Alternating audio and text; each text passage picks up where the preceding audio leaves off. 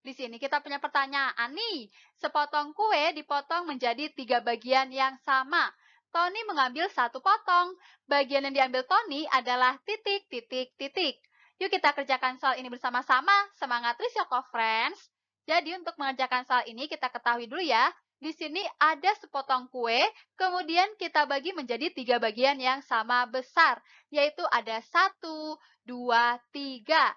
Kemudian kita ketahui Tony mengambil satu potong, maka yang ditanyakan bagian yang diambil Tony berapa sih kok friends? Untuk mengerjakan soal ini, kita ingat-ingat dulu yuk, bentuk dari pecahan kita misalkan sebagai A per B, di mana A-nya ini merupakan pembilangnya, B-nya ini merupakan penyebutnya.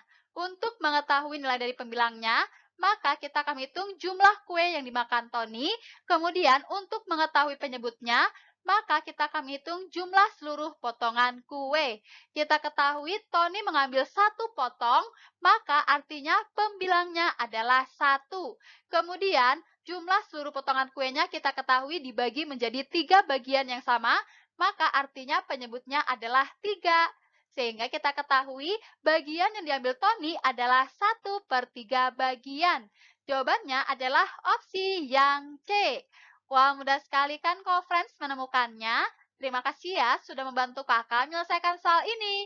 Sampai jumpa kok friends, semangat terus ya belajarnya.